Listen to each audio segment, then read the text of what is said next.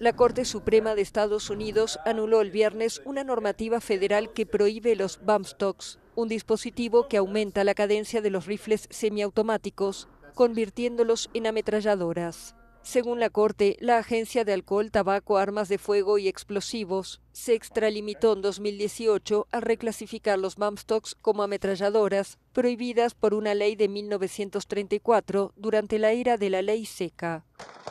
El telón de fondo del debate es una masacre cometida en Las Vegas el 1 de octubre de 2017, la peor en la historia moderna de Estados Unidos, que dejó 58 muertos y más de 500 heridos. La mayoría de los 22 rifles del autor de esta matanza estaban equipados con estas culatas extraíbles que le permitieron disparar a una velocidad de hasta 9 balas por segundo. Después de la tragedia, la Agencia de Armas de Fuego se replanteó su posición sobre estos dispositivos y en diciembre de 2018 anunció que los consideraría como ametralladoras y ordenó a quienes tuvieran algunas que las destruyeran o entregaran a las autoridades en un plazo de 90 días.